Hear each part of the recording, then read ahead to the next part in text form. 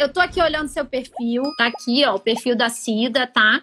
Esse nome aqui tá repetido aqui, mas pelo menos ela tem o organizer aqui em cima. Eu entendo muito bem, organizer. Eu sei que o nome da profissão acaba sendo personal organizer, como todo mundo fala, mas é importante entender da sua persona, as pessoas que te procuram, para quem você trabalha, se elas procurariam por esse nome no Instagram. Então, por exemplo, eu tenho uma grande amiga que é a Helena, ela é uma brasileira que mora lá fora há muitos anos e ela foi uma das primeiras a dar curso de personal organizer, formação, ela faz formação de personal, virou uma grande amiga. Ela fez mentoria comigo lá atrás, a gente viajou junto os Estados Unidos e tudo, maravilhosa. Então, para mim é a referência em personal organizer.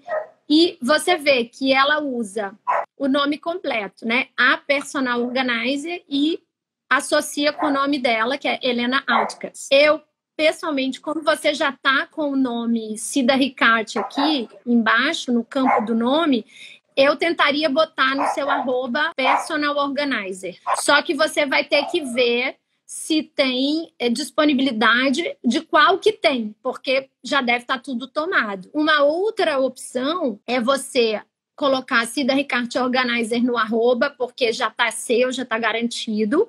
E no lugar do nome ali, você colocar o nome personal organizer, entendeu? Porque aí, se a pessoa digitar o nome completo, personal organizer, ela vai encontrar você por um dos dois campos. Quando a gente digita na busca do Instagram, ele varre tanto o arroba quanto o campo do nome. Você tem que tentar estar o máximo possível ali inserido naquele tipo de busca. Muita gente gosta de botar logo na sua bio, como se fosse a coisa mais relevante do mundo. Sou Master Blaster Coach de não sei o que lá. Sou certificado de não sei o que lá. Isso, para quem quer cliente final, não tem a menor relevância. Do que, que eu estou falando? Ó, certificada OZ, tá vendo? A minha provocação para isso aqui, né? Se você pode colocar num site, você, você, pode colocar, sei lá, uma, uma bio mais completa, se você abrir o link da bio aqui, você pode botar um story destacado, botando quem é você, para conquistar cliente final.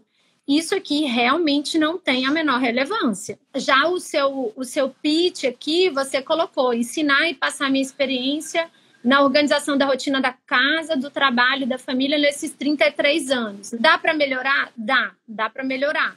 Mas é, você pelo menos está gerando uma clareza aqui e colocou uma pitada de é, autoridade, de experiência. Poderia até inverter. Há 33 anos ajudando famílias. Eu até botaria um benefício mais emocional, né? De é, restabelecer a paz na casa com a reorganização familiar. E botaria de novo um foco, porque quando a gente quer abraçar tudo, né?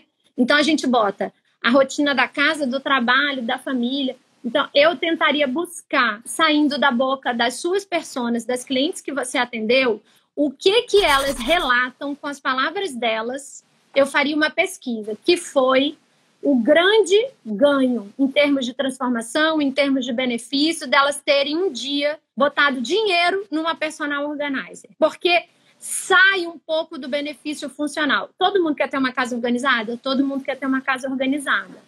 Porém, esse é um benefício muito funcional, que é muito óbvio, que tem valor, que é muito racional, que as pessoas querem, óbvio, mas que não é prioritário. Então, no dia que eu tiver um dinheirinho sobrando, eu vou me dar o luxo de ter uma personal organizer. Ponto. Só que se você começa a tocar nas dores e ativar na mente da pessoa o benefício emocional disso, que é o que, que acontece quando você tem uma casa organizada, com as pessoas mudando os hábitos, cada um, cada um sabendo o que tem que fazer na sua parte para contribuir. O que, que acontece? Muda a urgência, muda o desejo por aquilo, porque o seu produto, você pode tratar ele como dor ou como desejo.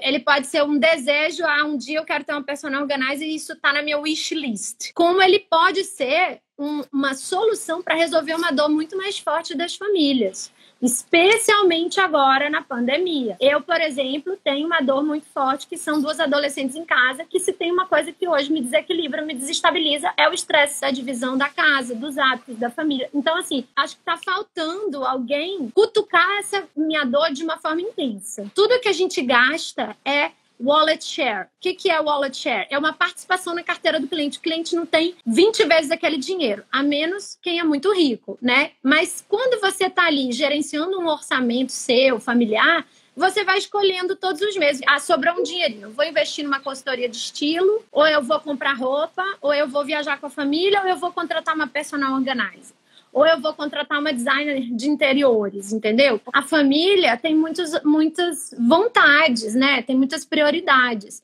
Então, é importante a gente mexer na dor.